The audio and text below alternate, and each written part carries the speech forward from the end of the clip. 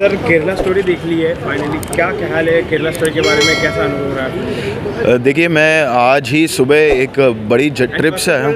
Welcome back to our channel after long time thank you Pawan मैं आज ही एक बहुत बड़ी ट्रिप से आया हूँ दस दिन की और बहुत थका हुआ था, पर केरला स्टोरी एक ऐसी फ़िल्म थी जिसे मैंने सोच के रखा था ये फ़र्स्ट डे फ़र्स्ट शो देखनी ही है, क्योंकि इतना हार्ड हिटिंग टॉपिक है, ऐसा टॉपिक है जो मेरे दिल के बहुत करीब है और काफ़ी टाइम से इसके बारे में पढ़ते आ रहे हैं, देखते आ रहे हैं, कुछ ना कुछ वाक्य हमारे सामने आ रहे हैं।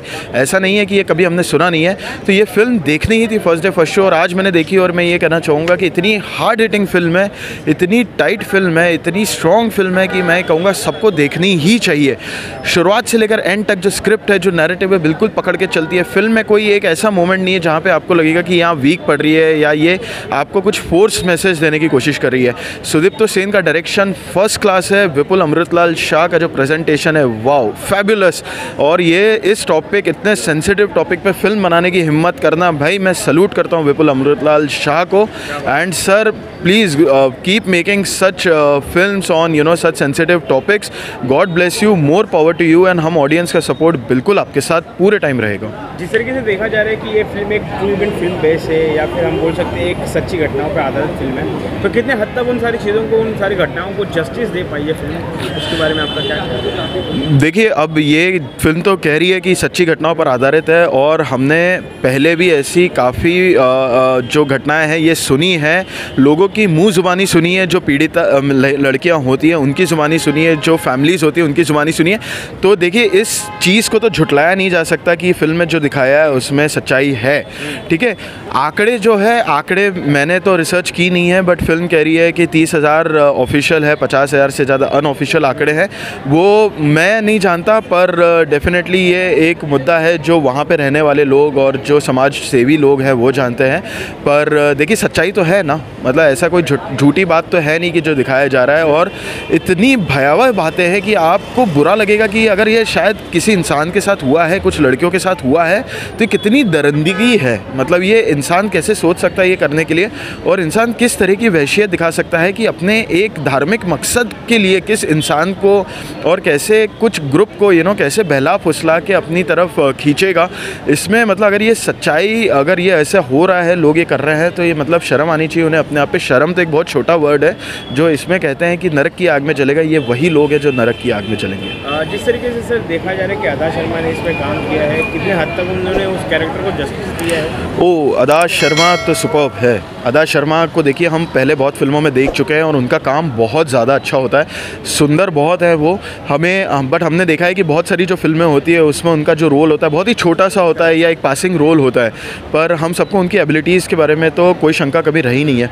इतनी सेंसिटिव फ़िल्म में इतना मीटी रोल जो कि 80 percent of the screen time ले रही हैं, इतना फेबुलसली उन्होंने अपना परफॉर्मेंस दिया है कि आपको लगेगा कि वाव जिस टाइप से उन्होंने एक मलयाली लड़की का जो मैनरिज्म होता है, जो एक्सेंट होता है टोनैलिटी है, जो पकड़ा है, आपको बिल्कुल नहीं लगेगा कि एक्चुअली एक नॉर्थ इंडियन शर्मा लड़की है जो ये परफॉर्म कर रही है। सुपर परफॉर्मेंसेज में अदा शर्मा को कहना चाहूँगा कि ma'am you perform really well and I would like to see you doing such sensitive and serious and you know meaty role जिसे हम कहते हैं, वो मैं डेफिनेटली आपको मोर एंड मोर देखना चाहूँगा मैम स्क्रीन पे। और अदा शर्मा के अलावा जो बाकी की तीन लड़कियाँ हैं इस फ़िल्म में जो उनके साथ दिखाई, उन्होंने योगिता बिलानी है सिद्धि नानी है एंड इनफैक्ट वो जो आसिफा बनी है, मुझे उनका याद नहीं आ रहा।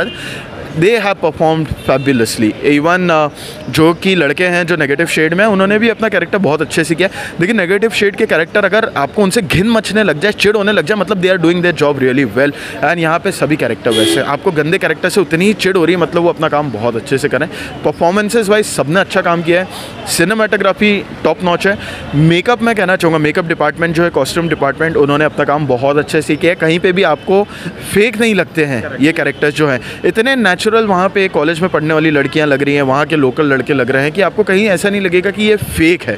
ठीक है जो अदा शर्मा को आप देखोगे जो उनका स्किन फट गई है चेहरे की हाथ की लगेगा कितना नेचुरली दिखाया गया तो ये it it is you know sign of great work by all departments इसके पहले एक फ़िल्म आई थी कश्मीर फाइल्स क्या लगता है उस वक्त जो माहौल क्रिएट हो चुका तो अभी भी वो माहौल क्रिएट हो सकता है या नहीं? शायद से उतना माहौल क्रिएट ना हो पर, क्योंकि, पर ये सब्जेक्ट जो है, ये थोड़ा सा अलग है।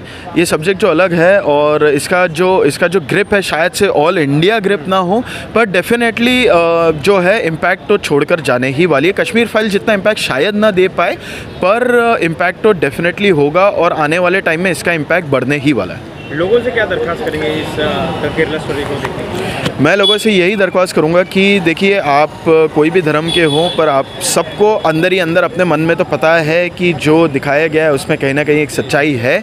और अगर फ़िल्म मेकर ये कह रहा है कि इसमें जो तीन लड़कियों की सच्चाई दिखाई गई है, वो रियल स्टोरी पर बेस्ड है तो अगर आप उसे एक फ़िल्म की तरह देखें, एक रियल लाइफ स्टोरी पर बेस्ड फ़िल्म की तरफ़ देखें तो आपको बिल्कुल देखनी चाहिए, भले ही आप किसी भी धर्म के हो।